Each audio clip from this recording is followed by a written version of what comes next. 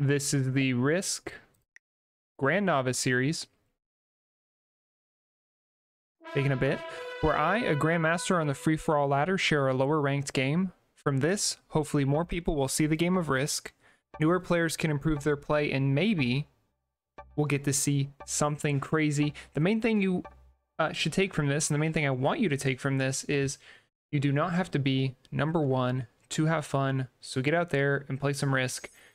More people out there playing Risk and having fun, the better it is for the entire community, and that's what we want to see. So we're going to encourage that. We're going to provide some tips to improve some play, and we are going to be playing the classic fixed settings. This is something that if you're a newer player, this is what you're going to be comfortable playing. This is what you're going to hop in on and play.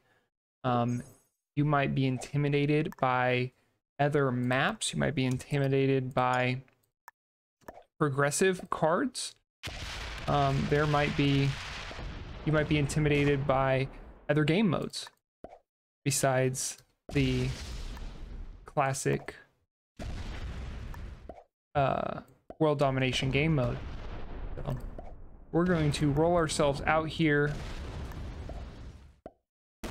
so we can hopefully be removed from the game, have as little impact on the game as possible, so we can see it played as newer players play, which we have it open right now to novice to intermediates. And this lobby filled up pretty fast. So I think these people hopped on. This is one of the first games they saw available and they hopped on in and here we are ready to play. So hopefully these are some peppy individuals. We see these turns are all going by very quickly. Very impressive the decision making coming out from all these players. The white player very quickly taking Australia turn one. You really need to get those smaller bonuses early if you're going to have them. Um, it's not a necessity, but considering the smaller bonuses, what you're trying to do is take them early and you're trying to, from there, leverage that, that early troop income, which is smaller than when individuals eventually take the large bonuses. So you're trying to leverage that early troop income for an advantage that puts you into a more even mid game with the other players who are going to be taking the larger bonuses.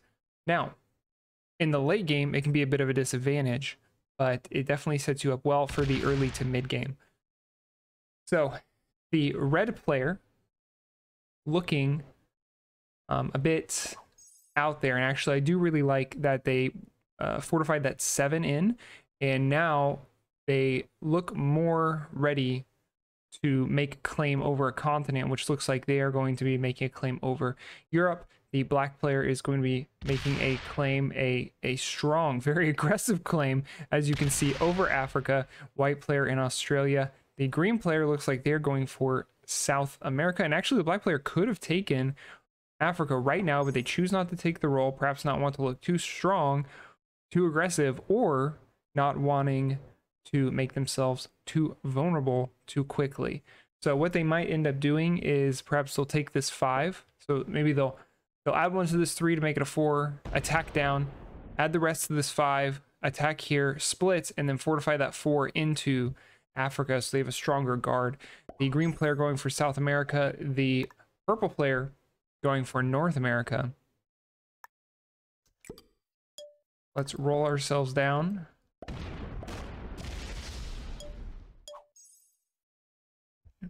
And let's see what the white player chooses to do with this upcoming, though not permanent, not not guaranteed permanent advantage of their extra bonus troops. What are they going to choose to do with them? Right now, it looks like they're going to take a not 100% roll, but it is successful, and they're going to roll. It actually turns out very well. I don't think they lost anything on that, and they're going to fortify here together. They start consolidating their troops, which they don't have a lot floating throughout the map, but they do have some troops out there uh, in the map, little satellite areas of troops. And is the green player going to be aggressive? Are they going to take South America? I don't like it because you'll be very vulnerable at that point. But they are over attacking a bit right now. That was not a necessary attack. Looks like they could be lining up for a conflict in North America. Um, I think at a higher level, perhaps individuals could work together to get that four into South America, but I think at a higher level, they wouldn't even want that four in South America because you're going to want an external stack as a South America player so you can continue to take cards. Everyone is taking their turns relatively quickly. Good to see. Say that now in the black player. We do have 90 second turn timers, I believe. Let me check that. We do.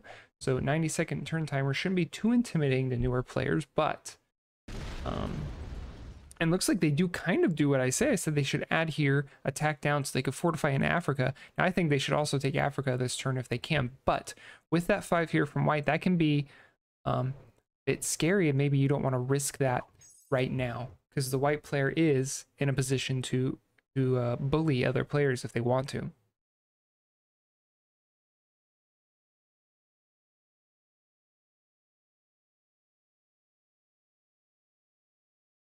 What does the purple player do? They're thinking. They're thinking about this potential conflict with green. That they do have a very strong, a pretty strong claim to North America, and I could see them taking it very soon. I don't like the way they've gone about doing this. I think they could have taken that seven right here and attacked the three, which is 100% roll. They could have had this five attack up, though they may not want to open the red 10. And then they could have had the uh, prepped for adding troops down and taking the continent the turn after that. Although Although I do not mind having a five here, stopping that four from getting in. You don't want any more troops in North America that aren't yours that have to be. So I do like putting that five there, a four plus whatever the, the three troops the green player will gain very soon. I don't think uh, that's coming through that five. So if you're the green player, I think uh, maybe you take South Africa and you just hope because right now you're in a, a vulnerable situation where you're either going to have to take make an aggressive move or you're going to hope that the board retain uh, becomes more volatile and other players um, aren't doing as well so they uh, because they're attacking each other. So that lack of uh, continent you're holding isn't that big of a negative. So the green player has to ask themselves are they going for troop preservation or are they going for troop income? And uh, adding any troops into North America right now is a huge risk because you should not expect to hold them, especially if purple has a trade on three. So, very interesting move by the green player, and I do not agree with it.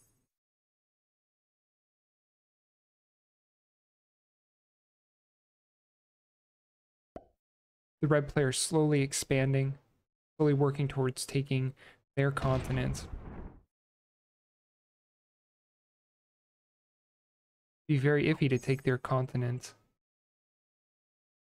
Black not having a continent yet. Right there, neighbors.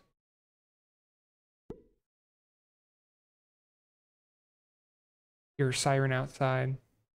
No one needs that much help yet, I don't think. Emergency services are not needed in this game. Although the black player, the second player to take the continent, will the white player push in, be aggressive, and say, I'm not going to let you hold that. They absolutely could do that. But then what they're doing is they're putting themselves in a situation where if other players begin to secure continents, the white player can't can be can't police all of the other continents. That's just not going to work. So the white player has to ask themselves, are they going to start conflict with the black player? Um, I think, oh, look, I only have one continent left. I, I expect to be removed very soon.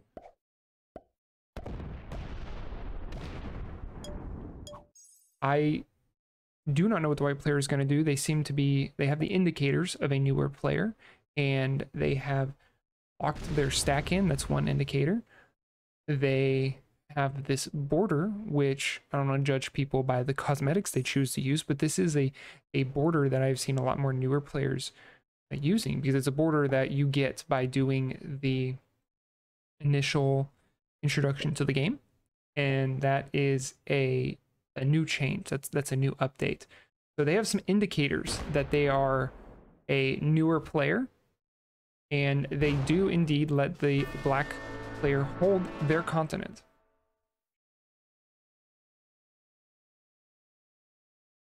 So it hasn't been too particularly spicy this game so far. It has been, uh, players have been taking their turns uh, relatively quickly, which I'm happy about that, but no one has been, um, we haven't seen a lot of direct aggression between individuals. So we may see that coming up as players start securing their continents and they we start looking at potential card blocks. We start looking at um, the difference in troop income, making other players stronger than um, than one another. And actually, the red player locking their 17 in, it is a threat stack. So at this moment, I don't like doing that, and I'll tell you why.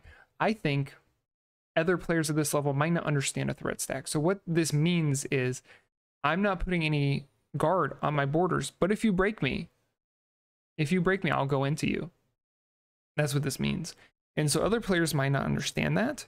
Not only that, this 17, if placed right here, still has access to the world.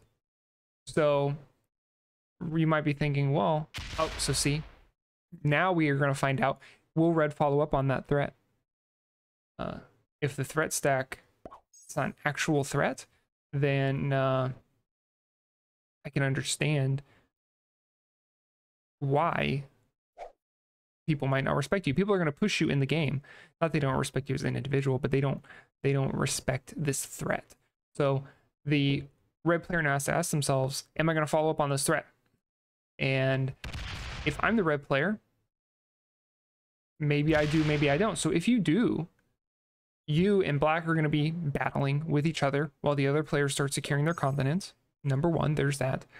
And number two, uh, if you, on the other side, if you choose to let it go, then maybe there's a chance for more uh, friendly relations and working together and growing strong together. So if I'm the red player, what I do is I take this 17, I attack here, resecure my continent, and then I don't lock my stack again. What I do is is now I've got this 17 plus whatever troop income I'm going to get, uh, a stack right here for it. And if the black player breaks me again, then then I have to be willing to go to war.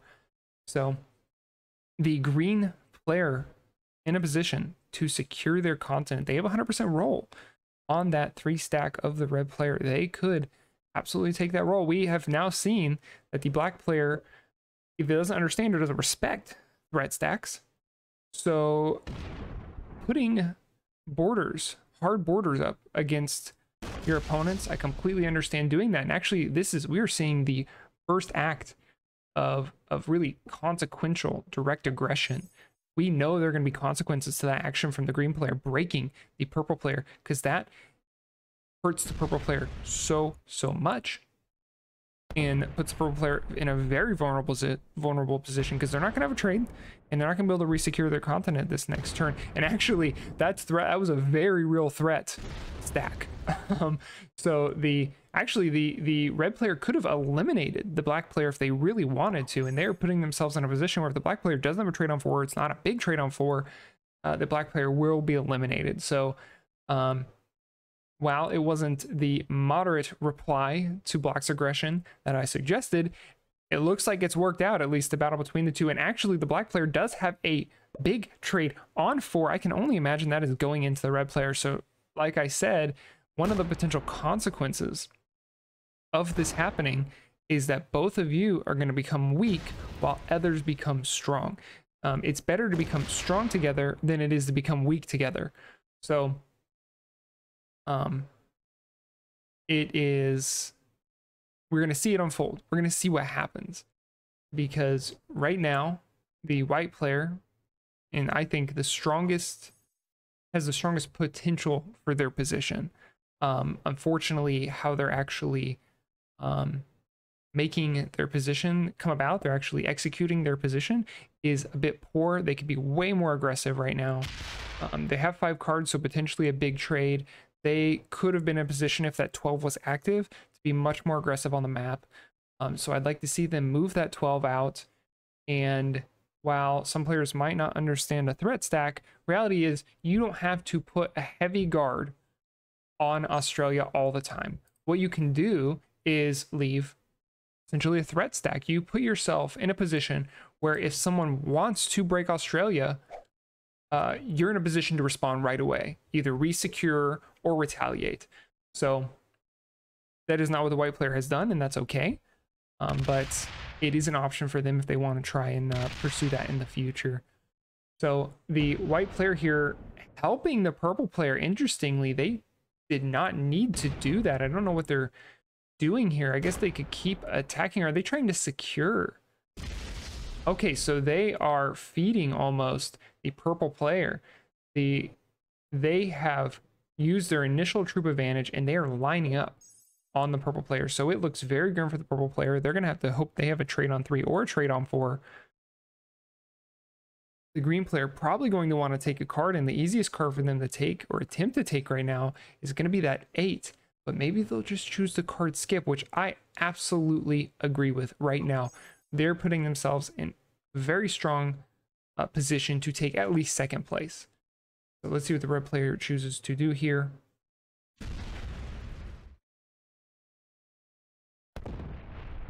Continuing to attack the black player. Perhaps they're going to take Africa. It is an option, although the black player could choose to break it.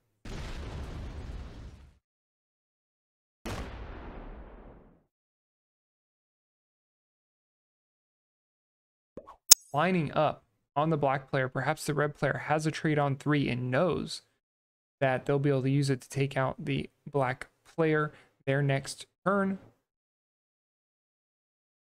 We've seen a lot of direct in-your-face aggression as we've entered into this mid-game.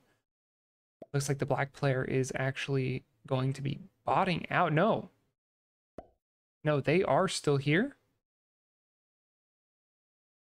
they are still here and perhaps they're only the only thing they can do is they can break Africa or they can roll that nine stack. Either of those are options, but the confidence from the red player with their emoting suggests to me that the red player might have a trade on three.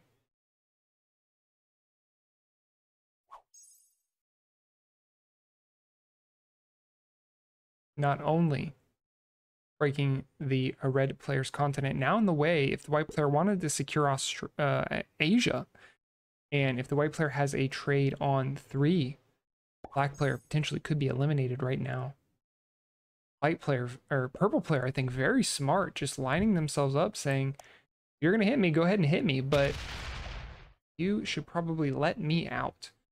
And the white player does not do that. The white player does not let them resecure their continent they stay in the face of the purple player.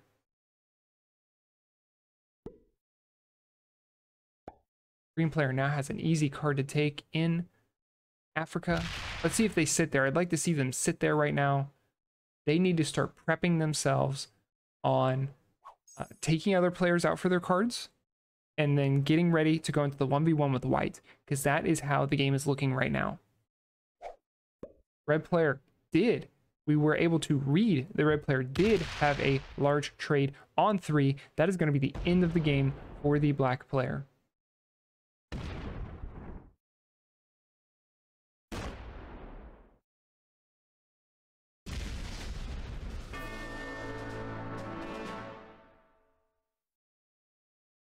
Now the red player could attempt to resecure Asia right now might actually like to see that. So they do not, but they prep themselves to be able to secure it the next go around, although I would not anticipate white letting that stand.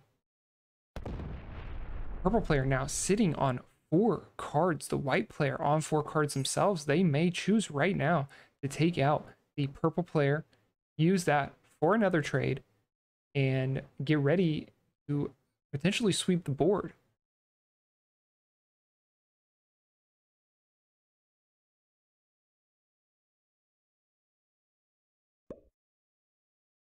White player taking about 20 to 30 seconds figuring out what they're going to do. They did not use trade on four, whether they had it or not. So now they need to, yeah, so they realize, oh no, the purple player might have a trade on four. I need to get out of here. Now, if they really wanted to, they could have made that stack big enough that even a trade wouldn't have broken it. So, interesting decision. It is the safe decision.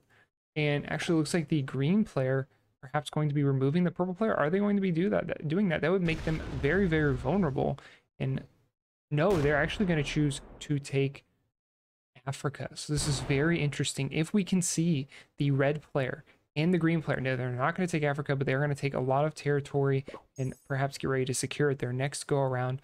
If the red player and green player can work together, they could overcome the white player. It's not like the white player is in a uh, hugely dominating position right now. That's not it.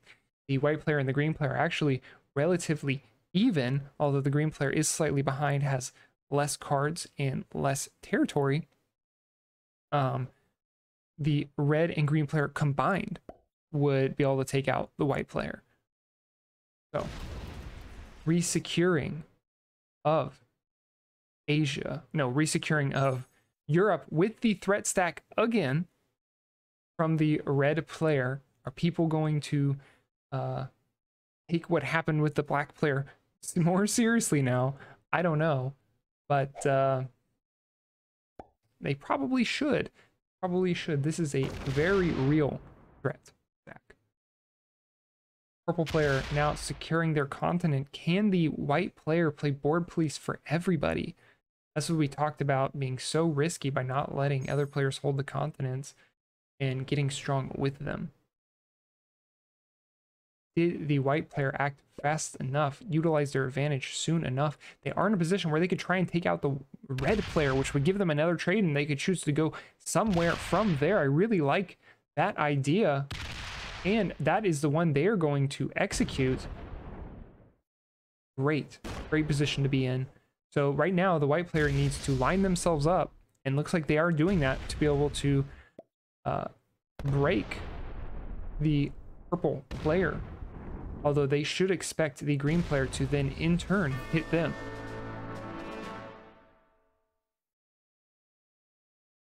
The white player continuing to leverage that early advantage. What do they choose to do? It is a big trade. And they are going to break the purple player, which I think is a good idea, but now they need to start worrying about the 2v1 because the purple player certainly about to break the white player. The purple player could actually resecure North America and break the white player while the green player secures Africa. And then we have a very interesting, close to, um, not even, but close to fair looking in game.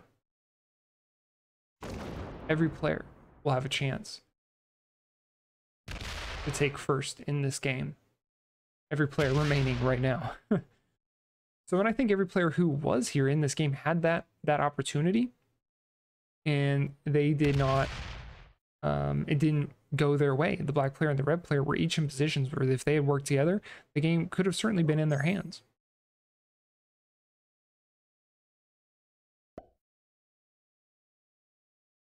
Purple player now no longer needing to break Asia because the green player has done it for them.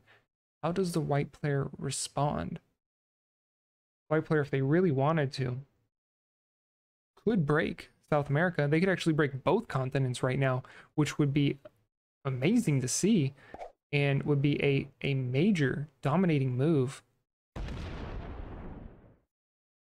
White player perhaps in a position to remove eventually both players in the 2v1. So they could have definitely had their cards differently, uh, or placed their troops, distributed their troops differently. They could have retaken. Oh, and it looks like they actually forgot to break North America. Very unfortunate. That is going to be allowing the green player to decide am I going to let the purple player hold? And I would bet that they are. So this is going into the 2v1 situation where the white player holding the weakest of the bonus troops coming in. The advantage, that early advantage as we start working towards the late game, going away for the white player.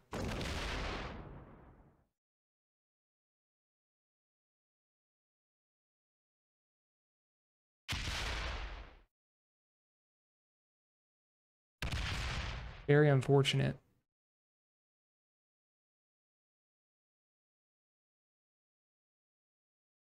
Looks like the green player actually trusting the purple player to not break. Very interesting move here.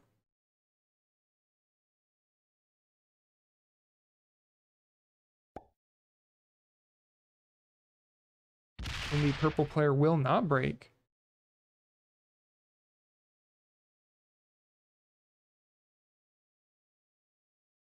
They will keep their uh, nine stack locked in North America.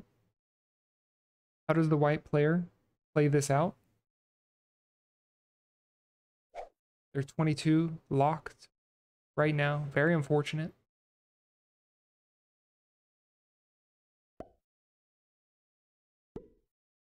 This is definitely a. It looks like the white player will not forget again to break North America, and the white player trying to figure out this puzzle. You know, I bet, I bet they, they feel like they have a bit of a puzzle in their head and they're thinking, how do I solve it? And reality is, this is a tough one. This is a tough one. And I don't think 2v1ing at this point is the way to go.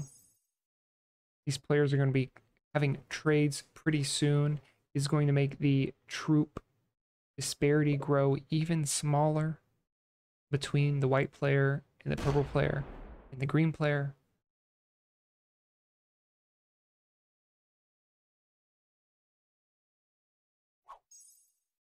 Green player though leaving their stack locked all players right now have some amount of troops they cannot access they cannot utilize right now just because they're they're they're stuck.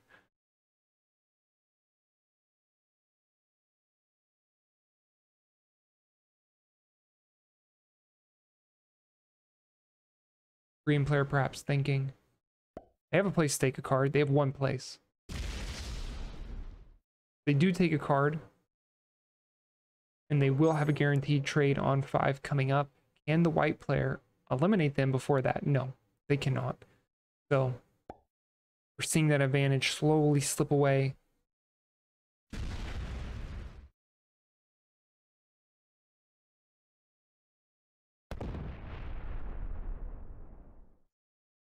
The white player absolutely should not anticipate holding Asia and they probably should break the green player.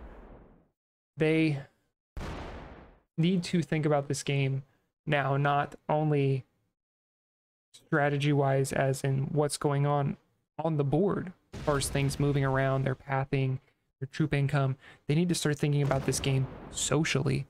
So you'll notice the green player and the purple player aren't hitting each other, you know, and, and you want to change that. So that is something the white player uh, needs to consider. Because right now, they are not on the path to taking the W, and a huge part of this game is social. So, if the green player chooses to do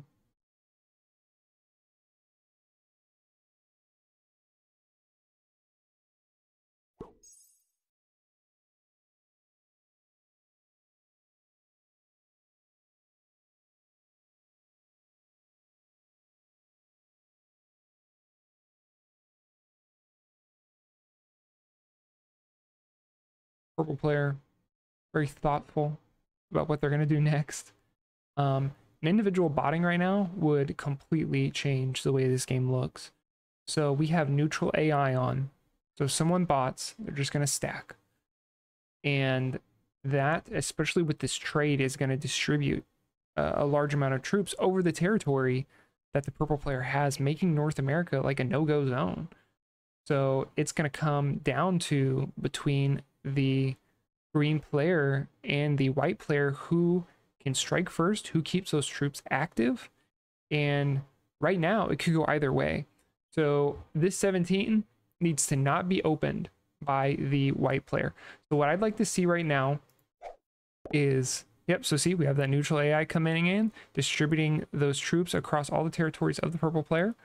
And so I want to see this five come down here to the Middle East and then come to East Africa, breaking that and not hit North Africa because North Africa will open Brazil. You absolutely do not want that. So this is, I'm thinking, the wrong move for the.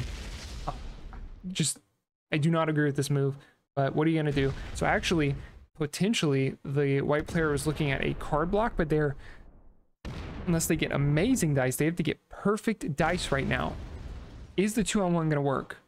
It does not work. So what the white player is planning on doing is putting down a card block. Oh, the card block would not have likely been successful just because the red player is going to be having, or the, the red player is gone. The white player is going to be having a trade on five right now. So we'll see if the green player, though they should lose this in a 1v1 where everything comes out evenly between the two, because the green player um, is at a huge disadvantage right now. 38 troops behind now in the card trades and has way less territories than the white players. So that's going to be troop income that the white player is going to have just from holding so much of the board. The white player, although now evening up a bit, 27 to 22 on the troop count, it's going to be up to, to the white player to, number one, do they have a trade? Do they have a trade on three? And number two, can they break?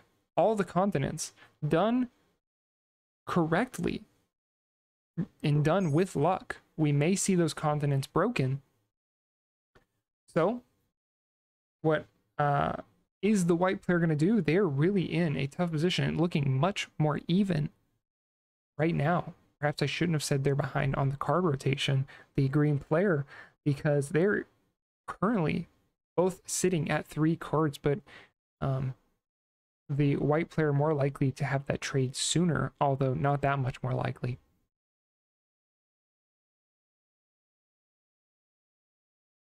The purple player perhaps has returned. Purple player has returned, which I think is very unfortunate for the two players that just went into each other very hard. Um, so the game continuing right now. So one of the troubles is we can't we can't assume that the purple player left the game on purpose so the other players would attack each other, assuming that they could take first place after defeating the bot. We can't assume that, right? That's not fair. But can't also rule it out either. Very real possibility that the purple player did this intentionally, although, you know, you gotta you gotta play the game as it is, and this is the game that we are in. So, um, had they played it safer, the white player and green player, they could have waited a bit longer to see what happened with the purple player. Because um, eventually, with neutral AI, the bot will surrender. So these players could have waited out that 10 minutes, chose not to do that. I think in most games, realistically, players aren't going to choose to do that. But it was an option. It could have been a safer play and it's it's not what we saw utilized here. So as long as the purple player stays, they're now in a position to take the game. They have a strong hold on North America, and uh, should be their game now. See if they're still here.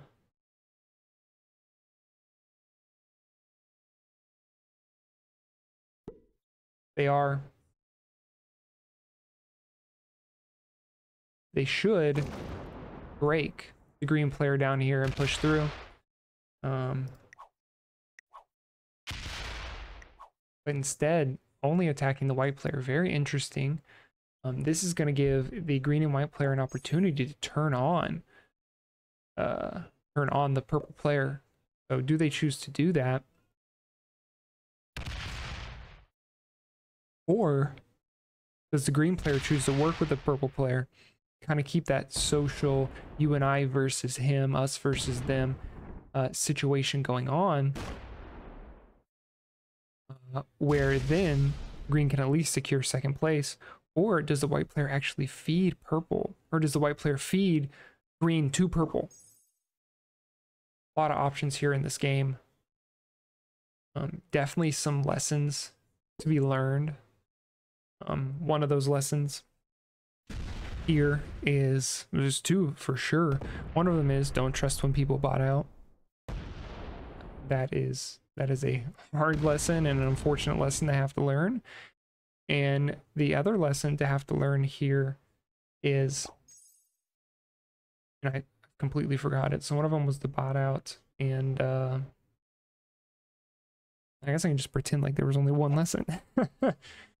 um but yeah, so now purple player looking like they might be lining up to break the bonus of the green player. Why not? Who's going to stop them? Oh, so I remember the other lesson. Their lesson is social. So the other lesson is, um, aside from the bot lesson, which we learned, uh, because uh, from the purple player coming back, the other lesson is social. Uh, that is an aspect of the game that can't be, be ignored, and sometimes it can't be overcome, like the white player tried to do here. So right now, because of uh, White's 2v1, it's looking like the white player will not be taking first place, perhaps will be taking second place, which is nothing to, to look down upon. That's great. Six people entered a game normally, hoping to take first, or at least do the best that they can. So in this game, I entered it knowing that uh, it was a very real possibility. And actually, the white player, interesting, turning on the purple player, perhaps saying to green, let's work together on the purple player, which I really like that. Um, so, in a normal game, you know, you have six people, they all enter wanting to take first or at least do the best they can. And um, when six people go in with a goal and only one can achieve it, being the number two person, that's awesome. That's nothing to uh, laugh at. So the purple player overextending a bit and actually now putting themselves a bit in that 2v1 position. What can they do here? Um, they need to choose a player and then they need to go hard in on that player. So that is the one thing the white player didn't do. They decided to 2v1 when they should have 1v1 ignoring the other player, and then taking that into another 1v1 after that. So they were not in a position where they could 2v1 yet. They just weren't big enough, or at least they were not able to execute that 2v1. So they should have been considering the 1v1 into the 1v1.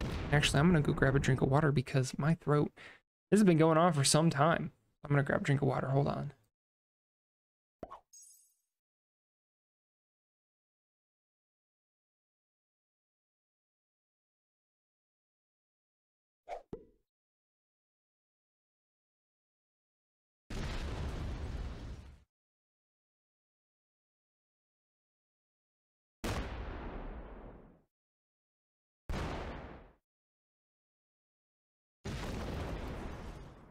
Instead of drink of water, but actually grab some apple juice. And actually, the white player uh, perhaps having a trade going in. Let's look at what we had right now.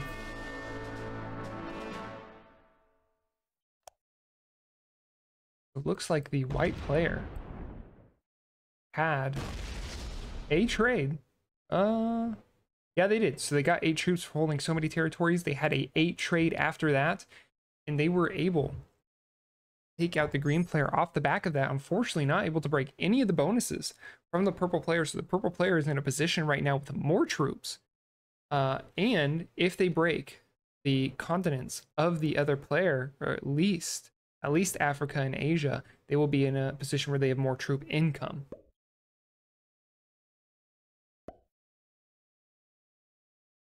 Drinking my apple juice. Whew.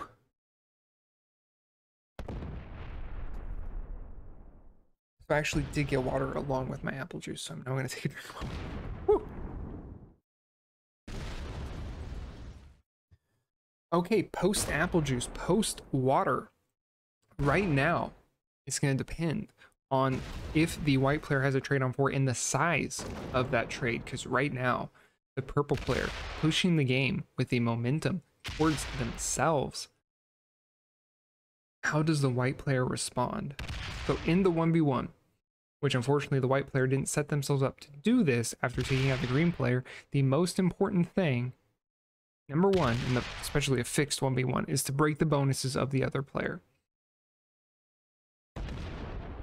Let's see what the purple player can do. I imagine if all those bonuses can't be broken, which is going to be very hard for the white player to do, even with a trade. Not impossible, but hard.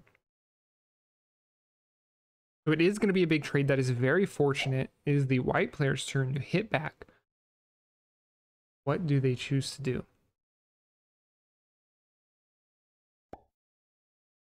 So what you can do right now is you can go 16 into the 2, into the 2, into the 1, the 1, the 1, the 1. Boom. You've broken all the continents. You've secured your continent. And you're going to need to attack out a little bit more after that because of the territory advantage. The purple player holding such a large amount of territory compared to you is not going to be great because you get bonus troops from having all that territory. So definitely needs to even that out a bit more. But in the long term, especially uh, with card luck, which hopefully the white player will be able to secure, um, the white player could pull up, pull out the W, although it is not looking likely. See how the purple player chooses to respond, but I think they have the idea. I think especially with the uh, six trade coming in, they can eventually reestablish uh, their four continent hold. That sounds crazy to say, but a four continent hold. And they will be able to slowly secure this game. I suspect it will be over in the next few turns. The white player perhaps making a mistake of not having the 7 active. Although I'm not sure that would have helped very much. It looks like this will be the end of the game for the white player. Hard fought and well played. See what the white player chooses to do here.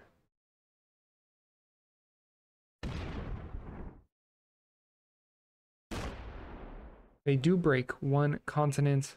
That is likely going to be the end. Do they activate their seven? They do not.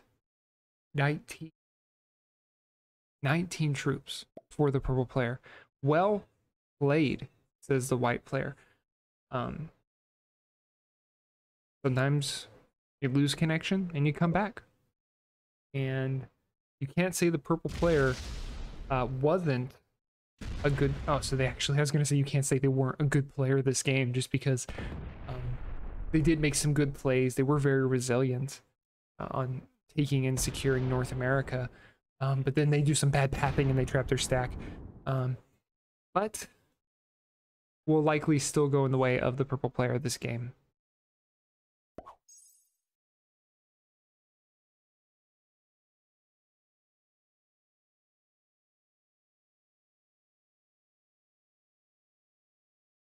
Going back to those two lessons to take. Those two main ones i wanted to mention is is the social aspect and the uh not trusting all the time when someone bots out. Um there's definitely something to learn those two things to take from this game. And if you're watching this game you think my games look like this. My games go 48 minutes 45 minutes 50 minutes somewhere in there. And leveraging your advantage is hard. Um, closing out a game can be hard. Working with other players can be hard. Um, I completely understand that. And then having to wait out the white player who is who's uh either has left the game or is stalling. I assume they've left the game. We'll find out in a few seconds after the the 60 seconds has ticked over. So it looks like they did leave the game. They're not stalling. They've just left. And uh, that means it is all but a guaranteed win from the purple player. This is not a bot out the purple player needs to be suspicious suspicious of just because they're so strong.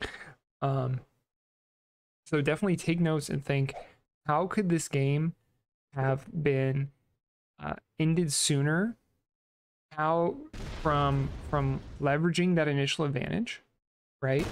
And also from the social aspect, if players had worked together, think back to the red player and the black player they could have grown strong together. They were securing continents, larger continents, and they could have then together worked against the other players. That was definitely an option for them.